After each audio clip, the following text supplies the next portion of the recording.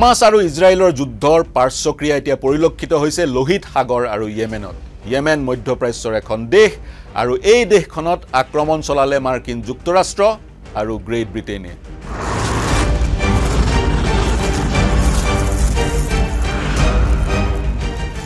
শুক্ৰবাৰে নিশা মাৰ্কিন যুক্তৰাষ্ট্ৰ আৰু গ্ৰেট ব্ৰিটেইন ব্ৰিটেইনে আকাশমাৰ্গেৰে মিছাইল আক্ৰমণ চলালে। য়েমেনৰ প্ৰায় বাৰটা স্থানত।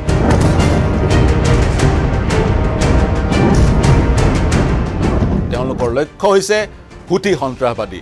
আৰু হুথি সন্ত্ৰাসবাদীসকলে এক প্ৰকাৰ য়েমেনৰ দুই তৃতীয়াংশ দখল কৰিছে। আন নালাগে য়েমেন দেশখনৰ যিখন ৰাজধানী চহৰ সেই ৰাজধানী চহৰখন এই সন্ত্ৰাসবাদীৰ দখলত। এই সন্ত্ৰাসবাদী সংগঠনটোৱে মূলতে মূলতঃ বিৰুদ্ধাচৰণ কৰে মাৰ্কিন যুক্তৰাষ্ট্ৰ আৰু গ্ৰেট ব্ৰিটেইনৰ।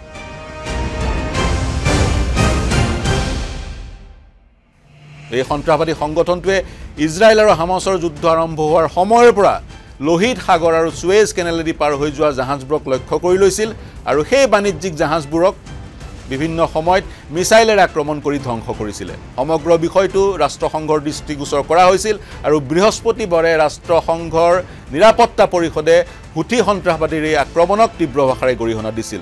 ৰাষ্ট্ৰসংঘই গৰিহণা দিয়াৰ পিছতে মাৰ্কিন যুক্তৰাষ্ট্ৰ আৰু গ্ৰেট ব্ৰিটেইনে য়েমেনৰ বহু স্থানত তেনেধৰণে আক্ৰমণ কৰিলে আৰু তেওঁলোক বদ্ধপৰিকৰ এই আক্ৰমণ চলাই যাব আৰু হুটিজ সন্ত্ৰাসবাদীসকলক লক্ষ্য কৰি যাব যেতিয়ালৈকে এই সন্ত্ৰাসবাদী সংগঠনটো ধ্বংস হৈ নাযায়। আক্ৰমণ চলি থাকিব বুলি হুংকাৰ দিছে মাৰ্কিন যুক্তৰাষ্ট্ৰ আৰু গ্ৰেট ব্ৰিটেইনে।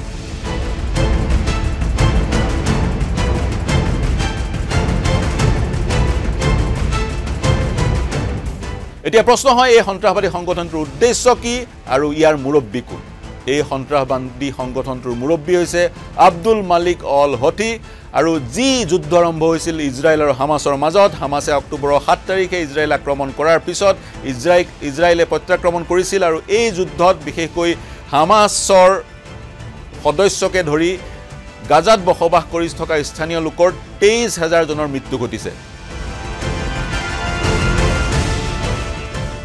আৰু এই আক্ৰমণৰে প্ৰতিশোধ ল'বলৈ বিভিন্ন সময়ত হুটিয়ে সন্ত্ৰাসবাদী কাৰ্যকলাপ লোহিত সাগৰ আৰু চুৱেজ কেনেলত কেনেলত কৰা পৰিলক্ষিত হৈছে। আৰু মূলতঃ এই সংগঠনটোক সমৰ্থন জনাইছে ইৰাণে। দুহেজাৰ চৈধ্য চনৰ আগলৈকে এই সন্ত্ৰাসবাদী সংগঠনটো যথেষ্ট সক্ৰিয় নাছিল বা শক্তিশালী ৰূপে আত্মপ্ৰকাশ কৰা নাছিলে। কিন্তু দুহেজাৰ চৈধ্য চনৰ পিছত ইৰাণে এই সংগঠনটোক মিছাইলকে ধৰি ক্ৰুজ মিছাইলকে ধৰি বেলেষ্টিক মিছাইলকে ধৰি আন আন মাৰণাস্ত্ৰ যোগান ধৰিছে। ইৰাণে যি এক্সিছ ৰেজিষ্টেঞ্চ সৃষ্টি কৰিব বিচাৰিছে মাৰ্কিন যুক্তৰাষ্ট্ৰৰ বিৰুদ্ধে বিশেষকৈ বিশ্বৰ বহুকেইটা সন্ত্ৰাসবাদী সংগঠনক লৈ মূলতঃ হুটিজ আৰু হিজবুল্লাক লৈ এই ইৰাণৰ উদ্দেশ্যৰে অংশবিশেষ হৈছে এই আক্ৰমণ। অনাগত সময়ত এই আক্ৰমণে কি ৰূপ লয় সেয়া লক্ষণীয় হ'ব। হামাছ আৰু ইজৰাইলৰ মাজৰ যি যুদ্ধ সেই যুদ্ধৰ কিন্তু এতিয়াও পৰিসমাপ্তি ঘটা নাই। তিনি মাহ অতিক্ৰম কৰি গ'ল।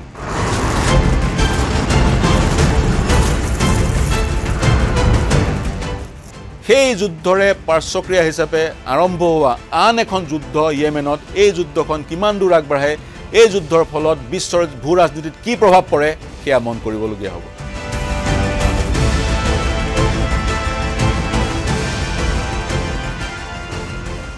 আৰু দুহেজাৰ চৈধ্যৰ পৰাই এই সংগঠনটো সক্ৰিয় আৰু য়েমেনৰ আজিৰ তাৰিখত দুই তৃতীয়াংশ স্থান দুই তৃতীয়াংশ জিঅ'গ্ৰাফী এই সন্ত্ৰাসবাদী সংগঠনটোৰ হাতত। আন নালাগে য়েমেন দেশৰ যিখন ৰাজধানী ৰাজধানীখন ইতিমধ্যে দখল কৰিছে।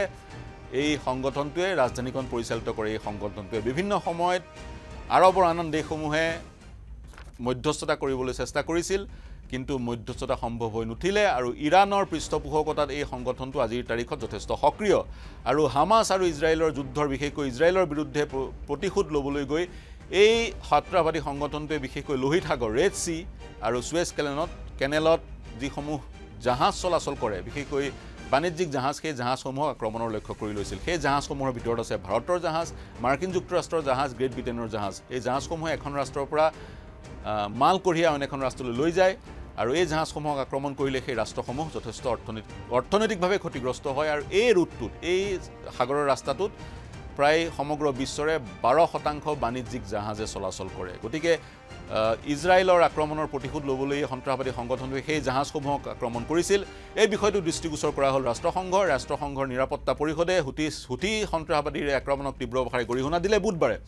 ৰাষ্ট্ৰসংঘই তীব্ৰ ভাষাৰে গৰিহণা দিয়াৰ পিছতে মাৰ্কিন যুক্তৰাষ্ট্ৰ আৰু গ্ৰেট ব্ৰিটেইনে য়েমেনত য'ত হুটি সক্ৰিয় সেই সংগঠনটোৰ বিভিন্ন যি শিবিৰ শিবিৰত আক্ৰমণ কৰিলে আমি পোৱা খবৰ মতে বিভিন্ন সংবাদ মাধ্যমত প্ৰকাশ হোৱা খবৰ মতে বাৰটা স্থানত মাৰ্কিন যুক্তৰাষ্ট্ৰ আৰু গ্ৰেট ব্ৰিটেইনে মিছাইলেৰে আক্ৰমণ কৰিলে মিছাইল নিক্ষেপ কৰিলে আৰু এই আক্ৰমণত এতিয়ালৈকে ছজন লোকৰ মৃত্যু হৈছে আৰু বাই প্ৰায় দহ বাৰজন লোক আঘাতপ্ৰাপ্ত হৈছে।